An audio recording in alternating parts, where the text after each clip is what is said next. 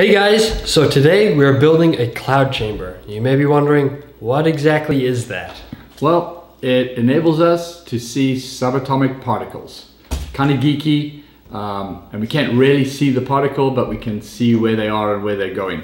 So we'll take you through the process. Pretty simple, but a fun project to do. Let's check it out. Okay.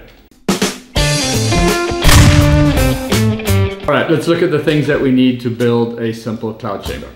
To start with, you need the actual chamber. We went with a 10 gallon fish tank aquarium, but you can use pretty much any clear container for this. Yeah, you've got to be able to see through it, basically. Yeah. Uh, next is something to absorb the isopropyl alcohol you'll be using. For this, we went with felt because it's nice and fine and it'll evenly uh, soak up the alcohol.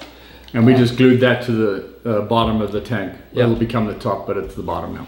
Uh, next up is the actual isopropyl alcohol. We went with just 91% rubbing alcohol. Um, so we'll see how that works. And then you need the base, which will be going over this, but the whole thing's going to be inverted. For that, we went with a steel sheet that we spray painted black so that mm. you have a nice contrast to be able to see right. everything. And you want it metal because you need this to be conducting the uh, the cold from the um, uh, dry ice that we're going to put underneath. Yep. Yep. And this is to hold the dry ice. This is just a styrofoam box that we built. Got the dry ice in here and that'll sit on here. Metal plate on top of the dry ice. Then this will sit on top of that and there's your cloud chamber. Yeah. So how exactly does it work though? Well, it's relatively simple because as you said, this will be turned upside down. We have the alcohol vapor inside here. It's warmer at the top, colder at the bottom. So it vaporizes because of the, uh, of the warm temperature near the, the top. When it gets to the bottom, it wants to condense. Um, and as subatomic particles move through the uh, vapor very fast, they ionize the, uh, the particles uh, and the atoms inside the uh, vapor. That allows it to condense and you get a, a condensation trail um, marking where the actual subatomic particle went, just like a jet plane uh, contrail.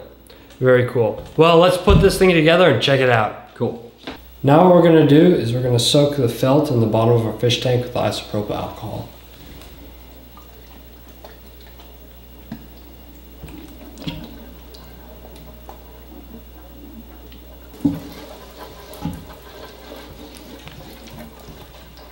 Next, we're gonna flip the fish tank over onto our steel sheet and then um, seal it up with some electrical tape. You don't want any air gaps or anything because you don't want the alcohol vapor just spilling out the sides once it starts cooling.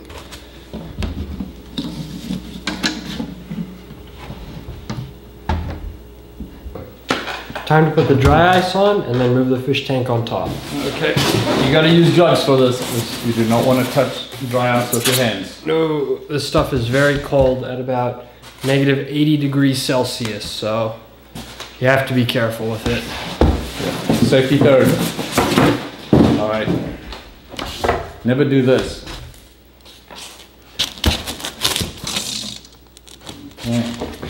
All right, and now we wait. You got it. Now what's going to happen is the base plate is going to cool down significantly. Make sure that it's nicely sealed. We're not getting vapor coming out. And when that plate cools down, the uh, vapor from the uh, felt at the top is going to want to condense near the bottom. And what we'll do is we'll turn the lights off, shine a light through here, and then we should be able to see the contrails from the, uh, from the particles. Let's check it out.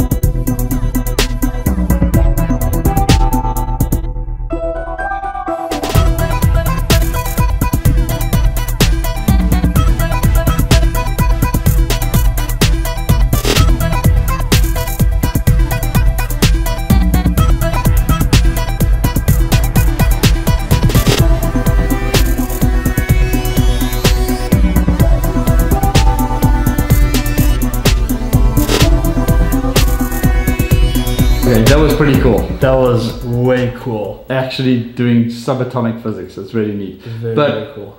If you noticed, there was a lot of movement uh, in the vapor in the bottom, and ideally we'd like that to be dead still if we can. Yeah. I think we've got some gaps on the bottom where the vapor is, is seeping out. Mm-hmm. So if we can seal that up a lot better, I think the traces will stay in place a little bit longer. So let's try and make some improvements, and maybe we'll throw in something else. Yeah, let's see. What do you got? Well, we have right here. I pulled this out of an old uh, Smoke. smoke detector in a house. It was broken, and so I disassembled it because these smoke detectors have a little bit of americium in them, which emits alpha particles. And alpha particles are one of the things that will be detected by our cloud chamber here. So we want to see if we can see any alpha particles being emitted by this. We also have a little bit of tritium in some small vials. Those emit beta particles, which are basically just high energy electrons. So we're going to see if we're going to see some contrails from those as well, and those should look a bit different from each other. We'll put them both in and see what it looks like. Let's check it out. Go for it. Okay, we resealed everything, and we've got three radioactive sources in here. What is your first one? The americium, which is an alpha particle emitter. Your We tritium. tritium, which is a beta particle emitter. And then we've got a Brazil nut, which is supposedly the most radioactive nut you can get. Uh, I think it's uh, potassium. Potassium Um, isotope. Yeah, yeah. So I don't know if we'll see anything, but we put it in there for fun. Let's have a look. Yeah. Let's try it out. All right. Get your ice.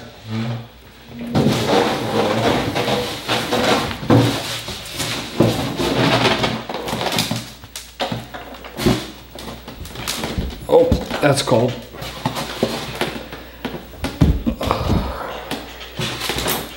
And three. Something like that. it out a bit. Yeah. I think that's good. Sure. Put it on. All right.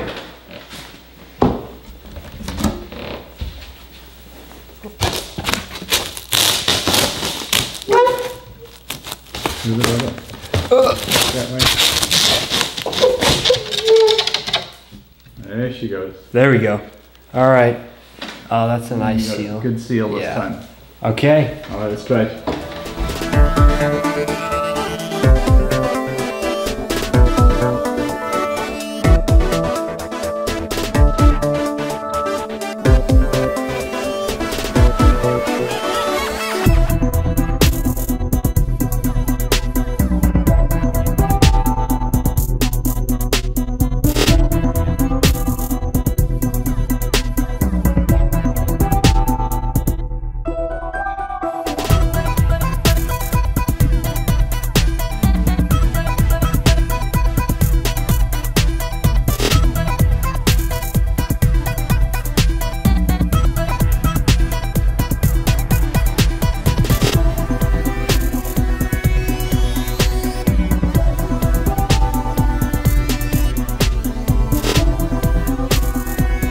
All right.